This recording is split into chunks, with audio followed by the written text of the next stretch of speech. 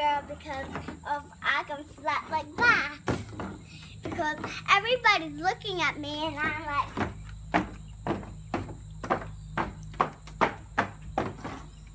And then I have a little sister who's wearing crazy makeup and she's actually and um I can actually do like this.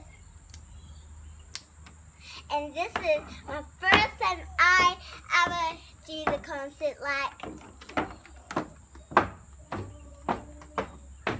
and this is how I always be my crazy high heels and them are really, really, really long. And my dress matches my shoes, so I should wear these beautiful stuff and shoes and my dress because I want to wear my dress and my